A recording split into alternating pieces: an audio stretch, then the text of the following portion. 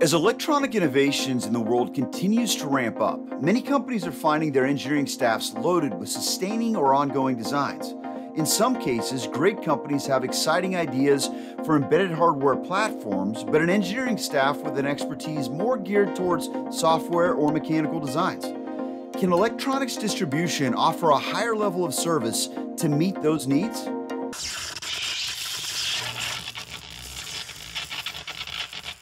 So, getting the host the current is a lot of fun for me as an electrical engineer because it gets me a chance to talk to some amazing engineering minds about the latest and greatest technologies and really where all of embedded engineering is going into the future.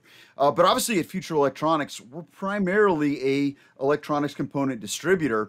But you know, along with being able to supply products to our customers, we also want to provide the best possible technical support model um, and engineering expertise to our customer engineers to support those designs to help make sure you've got the information that you need when you need it and get to market faster with the best possible solutions on the market along with the engineers that we have in the field, and hopefully many of our viewers of the current are already familiar with our advanced engineers in, in all the cities really around the world. Um, but beyond that, we also have what we call our future design centers, which are teams of engineers that are really there to act as extensions of our partner customer engineers teams um, and, and act as design entities to do designs all the way from the ground up for your companies, help you with that embedded system if you either don't have enough engineers on staff or maybe you don't really know how to do hardware engineering design.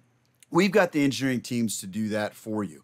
Uh, today, I have the privilege of speaking to a very good friend of mine and partner, Martin Bernier, uh, who's the director of our Future Design Center in Montreal um, and has been involved with a lot of these customer designs. Martin, thanks so much for joining me today on The Current. Thank you, Todd. Thank you. Absolutely. So, talk to me a little bit about that. You know, electronic, eh, you know, distributors were traditionally known for, you know, I need this part, I want this data sheet. I, I can you help me get contact with this particular supplier? Can I get this pricing? Uh, that kind of thing is probably our, our, bread and butter and what people think of from an electronics distributor yep. point of view, uh, first and foremost. Um, we're really trying to change that at Future Electronics. Talk to me a little bit about what the capabilities of Future Design Centers are today. Yeah, thank you, Todd. Uh, our capability are pretty much, you know, standard electronic design. So what we're doing, we are a team of uh, electronic and software designer, and we are helping customer with their design. So we, we are getting involved from the beginning of the requirement to do the design, the schematic, the layout, and also looking at prototype. And we're building the firmware to able to to test our board to validate our design. This is our goal trying to to put um, a working design in the hand of the customers. Right right. So you're really taking an idea from concept all the way to creation. I think you know one of the first times i remember seeing you guys in action was probably around 2008 or so. We had a customer literally i think we had dinner the night before with the customer. They came up with an idea. They, they were a customer that didn't have any double e's on staff. Came up with an idea on a napkin uh, proposed that to your team, and, and you guys are now in the second generation of that design, if, uh, if I'm not mistaken. That was a pretty exactly. sophisticated design that we've taken from really concept, um, napkin concept, all the way through building the schematics, the Gerber files, the firmware, um, and eventually a full-on operating system and, and GUI user interface on that. Exactly. Yeah. Yeah. So, so talk to me. Uh, can you give me kind of an idea of some of the designs that the the uh, FDC teams have worked on, and some of the things that you guys have done? my god we did we did the design from you know a led driver to high-end iot device with multiple peripheral for communication like bluetooth cellular you know high-end uh, design with uh, MPU processor with uh, DDR4, eMMC, and so on. So we already uh, we over the year we did so many project you know almost 10 project a, year. And so we we have experience with I'll say you know like almost everything. You know we touch everything. There's no there's no project or kind of design that we didn't take part of it. I mean from customer design to industrial design we we look at everything pretty much. Yeah yeah I, I think you know you mentioned some of the processor designs that you guys have done you know, I think some of the most impressive ones I've seen is, you know, with uh, like an iDynamic X8 yep. from NXP, quad core processor, very, very complex just for the layout portion of that. You've got an eight layer board, some cases a 10 layer board, uh, just to do the breakout on that. Um, and, and, and for that, to, to develop that for the customer, um, bring up the, the Linux BSP in that kind of an application. Now, I think in that, and we've done that for a number of different customers. One of the customers I remember um, was doing an AI uh, ML application. They wanted to do all the actual application code, but you got the initial BSP up and running got the the entire hardware design done, and now that customer is off and running um, and, and very successful with overall hardware platforms. Exactly. Yeah. And it, the other thing that's been really impressive for me, I think, for the FDCs has been just from the standpoint of you know customers that just have something very simple where they've got a, a wireless radio, whether that's Bluetooth, cellular, mm-hmm. Wi-Fi. A microcontroller to basically communicate with that radio uh, and then collect data from maybe a single sensor or a sensor array those have been designed. You guys knocked those out in a, a matter of a couple of weeks when it's a fairly simple design like that. Yeah, pretty much, pretty much. You know, these days the, the, the, main issue is really to get the prototype because of the accessibility of the component. But design time didn't change a lot. So in a couple of weeks, we're able to do the schematic and, and the layout and, and, and so on. And our the way we're working is pretty it's pretty much like an extension of the design team of the customer. So we are working on a schematic, but we're not going away with the schematic for a couple of weeks. We we are working with customer like daily or weekly. We get weekly uh, meeting with them. We we go over the schematic. We go over the placement together, and we you know gonna go on our side to do the layout and go back after with a customer to uh, to evaluate the design, to validate the design, to be sure we capture all the requirement before going to prototype. And and even today, we we change our the way we're doing the design because of the fact of the of the component shortage. So now what we are doing is like kind of a quick schematic just to review everything and we look at the component. Are they available? Are they what's the right pricing and, and yeah. so on before making component selection when it's too late. You know, I've got prototype coming, and we made some some mistake by not choosing choosing the right component. So these days we're doing we kind of improve our process to add that to uh, to the way we're doing project. Well, I think in this environment that's a must, and hopefully oh, yeah. it's something that we, you know, even once this allocation situation that we're in today here in 2022 um, hopefully, eventually it will end and, and lead yeah. times will shorten up a little bit for us. But I hope that we as engineers continue to think the way that you guys are thinking today um, about, you know, is this product going to be available and, and am I beholden to just one particular device or can I design in such a way exactly.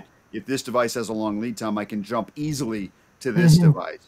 Um, and, and, really think about that earlier in our design cycle, not when it's too late and we've got to do a board spin, it, which obviously is very expensive. And it's also an advantage for us as part of a big distributor, we are we have access uh, to the inventory. We know what's going on in the market. We yeah. know what suppliers is able to deliver on time and so on. So before we do the design or even at the, the uh, the, the block diagram stage, we look at the component, we look at the selection, and we are able to look in our multiple supplier and say, oh, that's the right fit for the customer. This is what they they really need. This is the right the right price point. This is the there's inventory. There's multiple customer buying the same part, so there's some advantage to to to work with us to know what's going on in the market before yeah, making no design yeah, no, I, I, think that's a huge part of the value proposition that hopefully we bring overall, and certainly within the future design centers, we bring uh, you know to the designs we're doing for customers. So, so, once we do that design for a customer, and the FDC does the design, customer brings in this is what I want. You guys go through, you actually design it for the customer. What then happens with that design? Does the customer own all the intellectual property there? Yeah, the customer own the design. It's their design. You know, like I said that at the beginning of, of the interview we are working as an extension of the design team so we're not like a standard third party. So when we are working with a customer we, we put a contract together for sure but in that contract we say that they own the design. It's their ip it's their design. They they will take we, we are helping them to bring the design to a working prototype and from there the customer is taking this design and bring it to production you know and doing the final testing and and final certification and we're still there to help them. I mean we're not going away. We Yeah. we, we are a partner in that design so we help the customer to be sure that they are going to production with the, with the design Right. Yeah, we want to make sure they continue to be successful in that. Exactly. And then, uh, you know, I think we've seen some customers that have taken that design and they've got all the files for that Rev 1 design. And sometimes they go to production with that for a few years. They say it's time for Rev 2, but we want to do Rev 2 ourselves. Um, and so they've got all those files from Rev 1 they can quickly modify. Um, you know, and I think you guys are primarily using Altium for like the schematic and Gerber designs.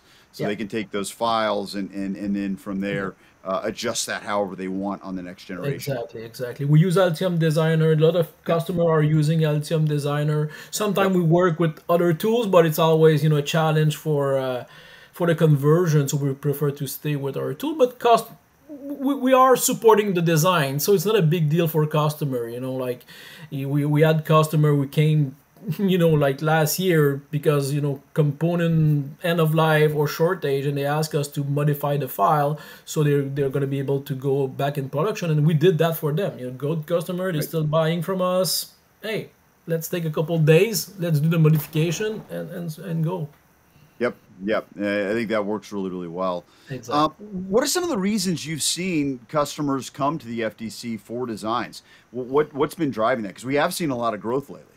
Yeah, yeah. I, th- I think it's pretty much because they they have less hardware engineer and more software engineer in their team.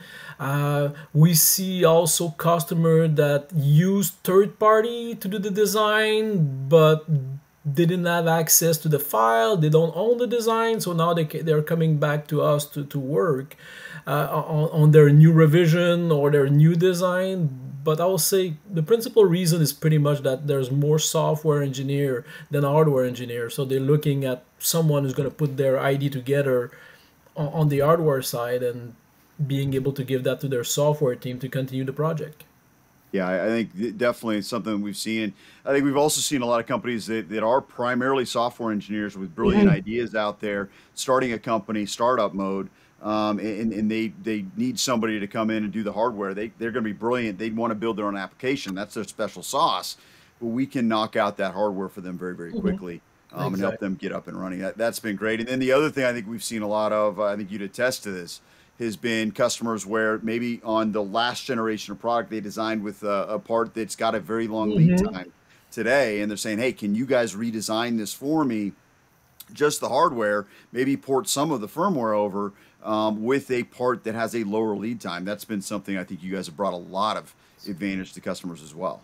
Exactly, exactly, and they can have their their engineering team, you know, working on a on a specific part of the design. We're working on a design right now, and the customer is taking care of all the high power portion of the design, and we are working on the the MPU uh, portion with the DDR4, the MMC, you know, section and everything, and they're taking care of the rest of the board. So it's like a partnership we work together on that design but for them it's a uh, they accelerate their time to market because they have another team working on another portion of the design while they're doing other stuff you know sometimes they're better with the power than the um, the mpu portion of the design so Yeah, no, no question, no question.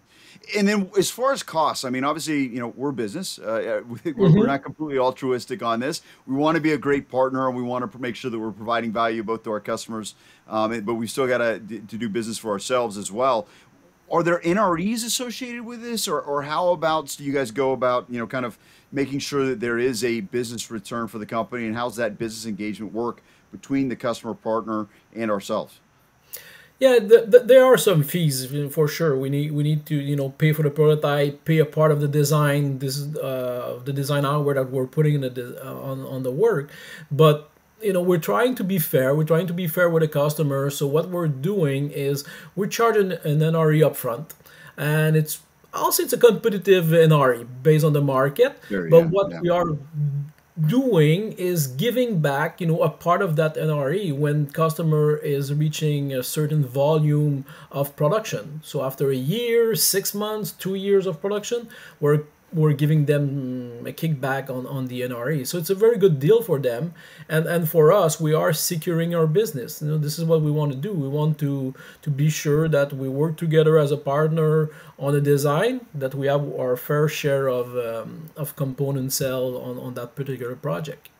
Right. Yeah, our goal is to sell parts. That's obviously yeah, exactly, our business model. Exactly. We, we want to sell parts. Yeah. Um, and we're not up, upcharging for those parts. Uh, you know, I think certainly we've seen a lot of cases where customers have come back and said, "Hey, you know, Todd, I, I've seen the the pricing on this part that I'm supposed to be buying from you guys that you designed in through the FDC. I'm seeing a better price over here." And like, oh, oh gosh, we, we need to fix that. We have communications with our suppliers. Yep. We fix the pricing. The expectation is that our pricing should still be best in class mm-hmm. in those opportunities. We just want the opportunity to make sure we're we're, exactly. we're doing that business with the customer to kind of pay for our engineering services um, exactly. and, and recoup the, the time that our engineers have put into it. Yeah. So uh, I think it, and both sides end up in a great situation there. Exactly. This is why there's no hidden fees in, in the component price. At the end of the day, we right. charge an NRE upfront. it's clear Everybody is aware of it and and there's a contract and it's simple i mean there's no and the, the component buying aspect is exactly like another customer that's going to buy from future they got the same quoting process and they work with their sales team and so on so there's right. nothing everything is is clear up front on when we're taking a design Right, right. No, I, I, think that that works out really well for everybody. Um, it, what what would you say are really kind of the, the ideal type of project for the FDC to take on? I, you know that that's a that's a difficult question in a way. I'll say that when you've got a project that the customer you know want to put it to production that that you know there's a forecast that's the the, the, the customer is involved in this project there's already a team you know a software or hardware engineer and you're working all together like like a good partnership those are the best project. That's for me those are the best project and those are the one that we're seeing su- success lately are exactly that you know. Customer only have a you know software engineer team or customer is looking for a second revision of his design and they they have like a market they have a forecast they know what they they are looking for and and they are, they already work with us. They know how we work they know our price they know our, our inventory they, they know our support. It's the best project that we can find for sure. Yeah i, I think that again we use the word partnership because i think that's key. Mm-hmm. i think if we're in a situation where we are seen as an extension of that engineering team um, at the customer. I think that's where things really work the best because oh, yeah. the communication is there, um, the, the, the understanding of expectations both on our side and on the on their side um, is excellent. And I, I the the the, uh, the, amount of accolades that I know I get. Um, from the, the, the, the, end up result that your team provides is just incredible. You guys, I think, have been great at that. Um, and it's become a, a skill that I know I'm very proud that Future Electronics has built. I think it's it's been a foundational way of us to support engineering, and I think it's an area where we're going to have to expand that capability as a distributor um, in order to continue to provide the best in class engineering support into the field out there. Yeah, we have, we have a very, very good team and experience and seasoned engineer. It's almost all engineer in our team and we have experienced like you know 20 30 years of design so we saw a lot of diff- different projects in our life and we're bringing that to the customer to help them with their design. And sometimes it's just you know a portion of a big design and sometimes is, uh, is the complete design that we're taking on so. Yeah yeah no doubt. And and you know, so we've got your team obviously in Montreal that's handling the majority of designs yep. in the Americas. We also have teams in Europe. We have teams in Asia. Um, so we've got teams around the world really to support this kind of model. So um, you know, I, I, think it's really exciting what we bring to the table, and I hope that uh, you know this is something that, that more engineers will reach out to us to and look into because uh, we'd absolutely love to partner with companies exactly. out there uh, in this way. Martin, thanks so much for joining me today on the current. You, really appreciate your time and expertise, my friend. Always an absolute pleasure. Uh, thanks also to our audience. We really appreciate you, uh, you know, taking the time to kind of learn a little bit more about how we at Future Electronics see the evolution of what our role as a distributor is to other electrical engineers out there, what we want to provide to other electrical engineers. If you have needs, um, whether it be for parts, for, for overall design advice, or if you're looking maybe to have a design done for you, I would absolutely love to speak with you. Please reach out to us at Shaping the Future at futureelectronics.com. Again, that's Shaping the Future at futureelectronics.com. We would absolutely love to speak with you and help you in your next design. Thanks again so much for watching us here on The Current. We'll look forward to seeing you next time.